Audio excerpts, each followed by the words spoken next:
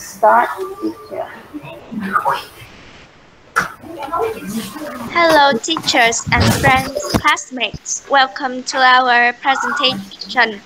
Today we are going to talk about The Storyteller by Hector Hughes Munro and our group activity which is prediction table. Our group members includes Ya Bao, Becky, Mayang, Haidang, and Miesco. So, as you know, there are five parts of a plot diagram which includes the exposition, rising action, climax, falling action, and resolution. To begin, we will start with the exposition first.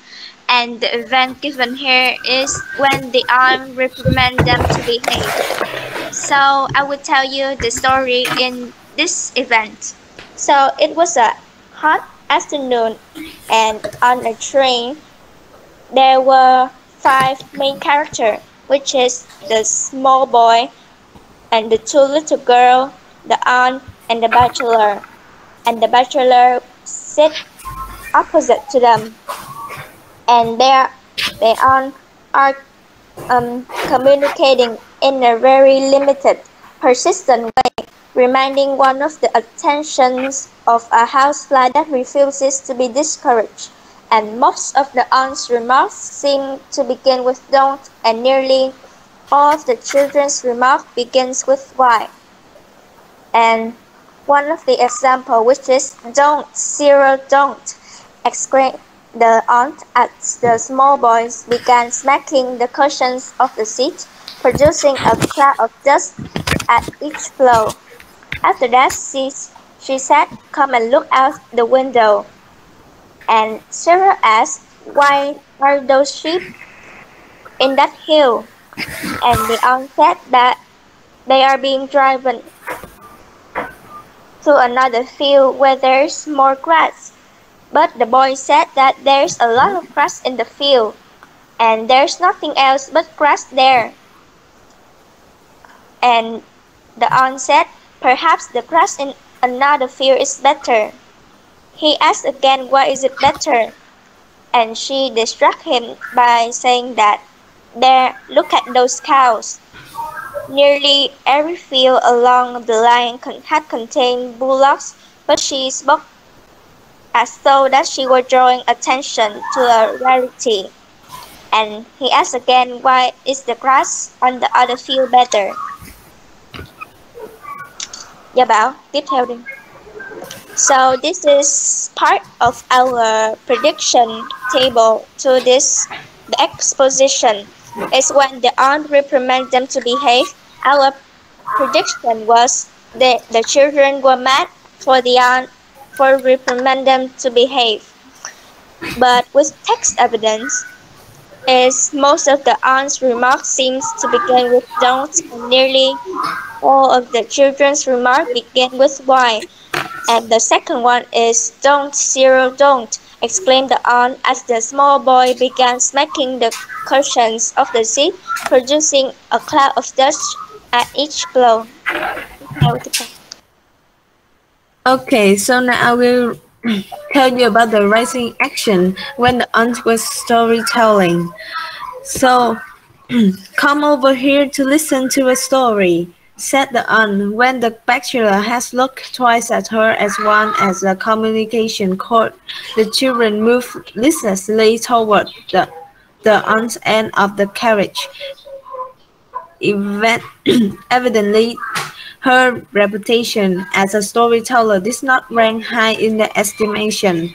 In a low, confidential voice interrupt as frequent interval white loud, petulant questioning from her listener listener, she began an, enterpri an enterprising and deplorably an interesting story about a little who little girl who was good and made friends with everyone on account of her goodness.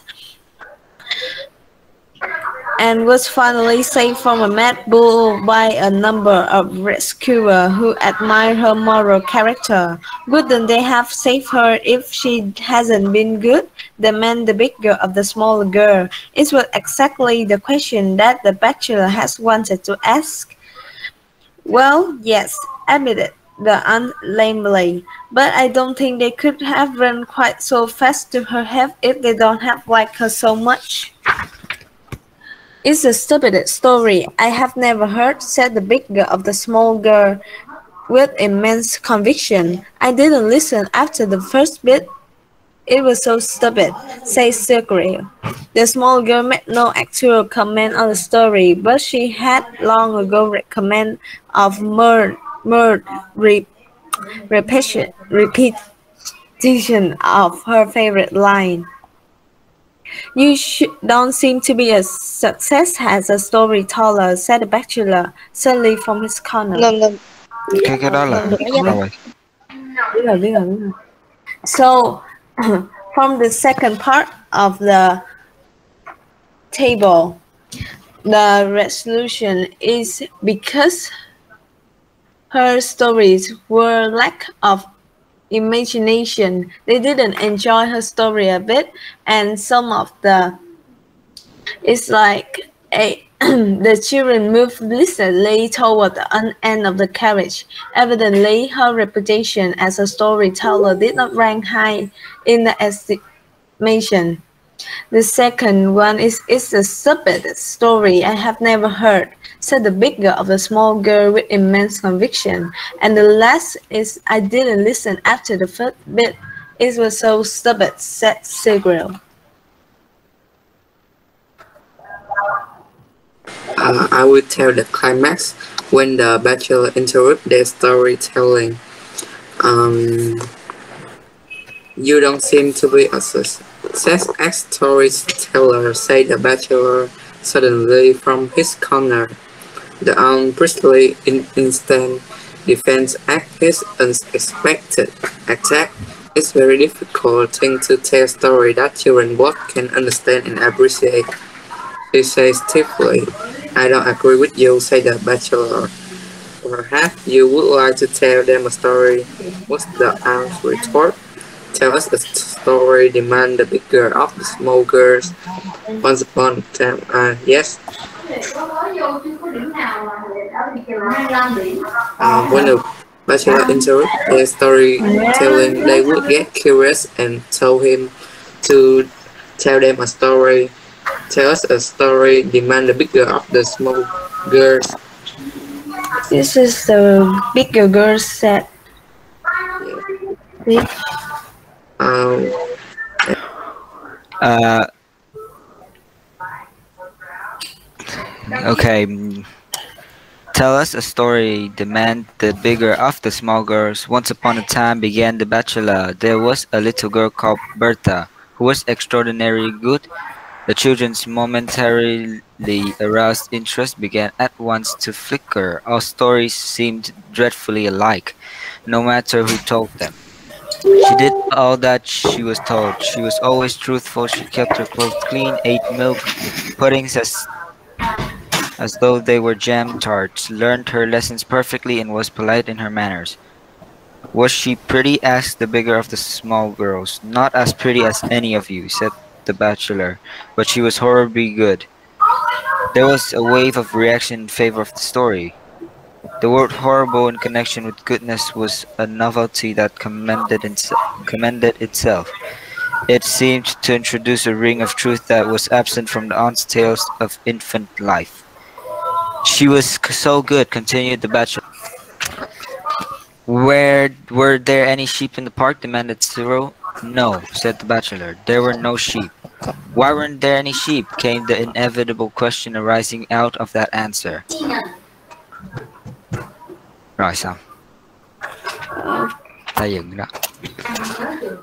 Uh, this is our prediction when the Bachelor was storytelling.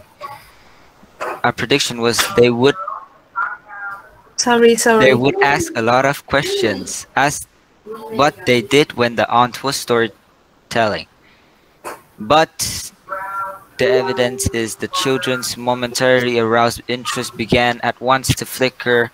All stories seemed dreadfully alike, no matter who told them, and they also asked a lot of questions while Bachelor was storytelling.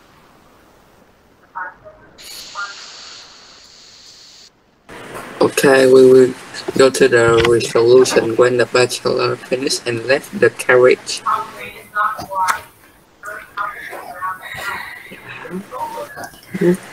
After war, any of the Anyway, little say the um, bachelor is collecting his belongings preparatory to leaving the carriage.